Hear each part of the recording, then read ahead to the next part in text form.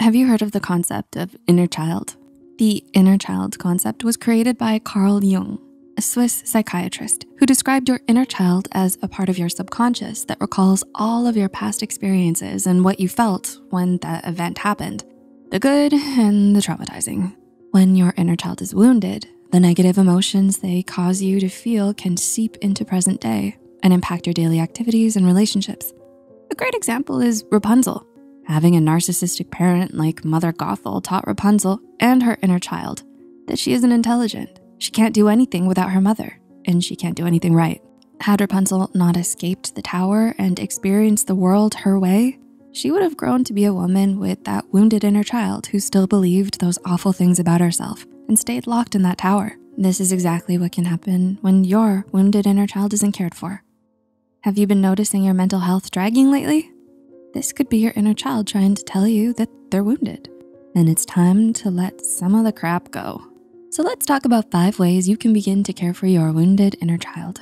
Be sure to watch until the end for a little disclaimer on this topic. Number one, reparenting. When there's a child, there's typically someone in a parenting role to teach and nurture them.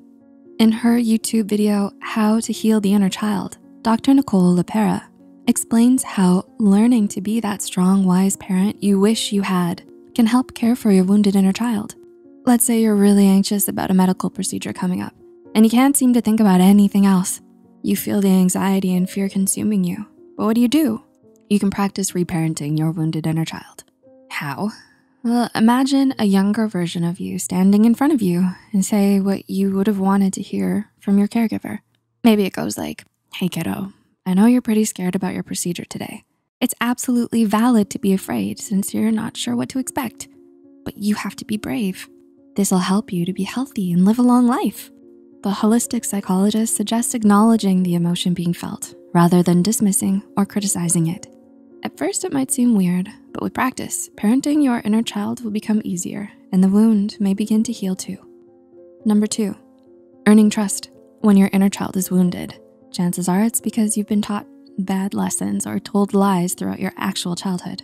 As Carl Jung details in his book, Healing the Inner Child, the inner child is a piece of our conscious mind. Whether it's to look both ways before crossing the road or not speak when dad is in the room, our conscious mind uses these lessons to help us shape our outlooks as adults.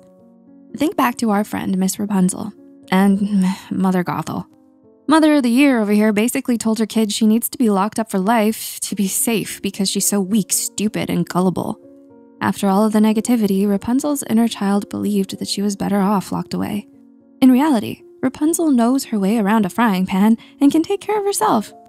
When you approach the inner child as that wise inner parent, you need to show them it's okay to trust you by providing healthy advice.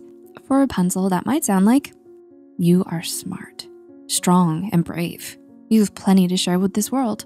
Sounds a lot better than being locked away in a tower, am I right? Number three, explore the past. If your inner child is wounded enough to be giving you some mental grief, you can assume that they've been through a lot of trauma in the past. In the book, Recovery of Your Inner Child by Lucia Capacchione, they suggest calling on your inner child to help uncover all types of memories, even some to help explain your trauma or triggers. One method Capacchione suggests is calling on your inner child. Grab a piece of paper and something to write with, it can even be a crayon, and put it in your non-dominant hand and draw a time your inner child was truly happy or truly upset. This can be a full-blown picture or symbols that remind you of that time and why you may have held on to certain emotions.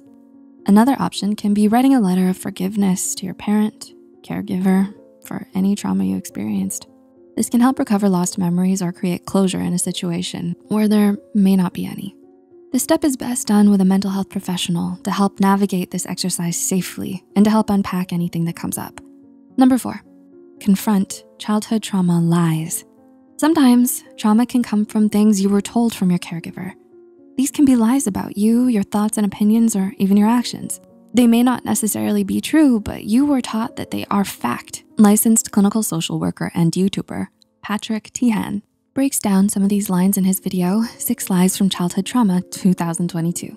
Some examples are, the real you isn't acceptable, or people don't wanna get to know you. In adulthood, these lies can cause you to be a people pleaser and to downplay your likes and opinions or feel ashamed of yourself. Anyone remember the movie Black Swan? You have a 20 something young adult Nina living with mom in New York City. With those rent prices, okay, I get it. But mother keeps telling her that she's basically incapable of doing anything without her. Not cool and not true. When these lies come up, Patrick tells us it's best to identify the source of the words. Is this something you say and believe, or is this something you've been conditioned to believe from a caregiver? And number five, be mindful. It can be really easy to get wrapped up in old habits, especially when you're trying to create new ones, believe me. Say you have a parent with very narcissistic tendencies. It may be a daily uphill battle to not act like them when in a parenting or authoritative role. However, it may be a bit easier when they're being mindful of their actions, thoughts, and words. Thich Nhat Hanh, Vietnamese Zen master and author, explains that the first function of mindfulness is for us to open our awareness enough to recognize those unhealthy thoughts, words, actions, and patterns. Through this way of thinking, you can also become aware of your inner child and what they need to continue healing. How do you do this? Just think before you speak and act.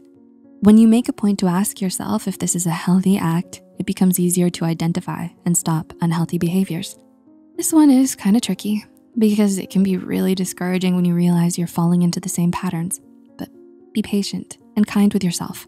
It's just like any other skill. You have to work at it to be good at it. And it's okay to ask for help along the way from loved ones, a trusted teacher, or a mental health professional. Unfortunately, it's true what they say.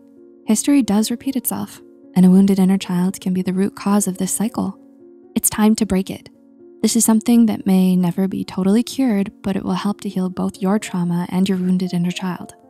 How else can you care for a wounded inner child to promote healing? Let us know down below. As always, keep an eye on side for more Psych2Go content. Until next time.